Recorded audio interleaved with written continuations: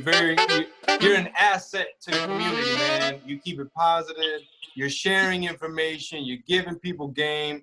Uh, when I worked with you on set, very positive. You know, no ego. So so thank you for for showing us that it's possible and being an inspiration and and it's motivating, man, just to see how consistent you've been throughout the years, the longevity. You got, man, you have stuff come. You got a movie coming out tomorrow. Uh, you're on Deputy. So, uh, you know, props to you. Much, much, much respect, and just keep doing what you're doing. So, thank you.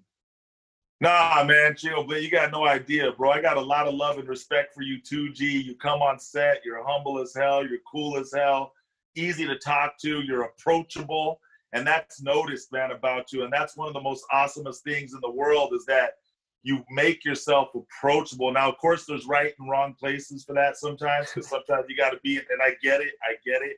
But I'm just making a point that when someone does approach you, I've always seen it, man. You've been cool, humble, uh, and so, man, I just got a lot of, and, and dude, I saw you, man. Like I saw you. I, I watch your comedy and stuff, you know, and I love it, bro, because you're coming up in the game, and from where you were at to where you are now and where you're going, um, man, you're you're off the hook, G. So I got a lot of respect for you, a lot of love for you.